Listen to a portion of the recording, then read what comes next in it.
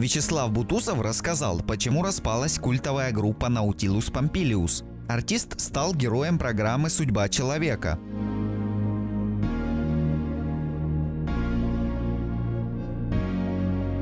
По его мнению, большое влияние на распад группы оказали смена коллектива и межличностные отношения между музыкантами. При этом артист считает, что коллектив прекратил существование на пике успеха.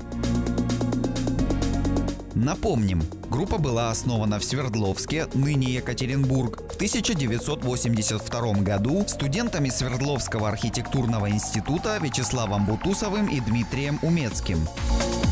А вам нравится музыка группы Nautilus Pompilius? Ответ пишите в комментариях. Также не забудьте поставить лайк под этим видео, поделиться им и подписаться на наш канал.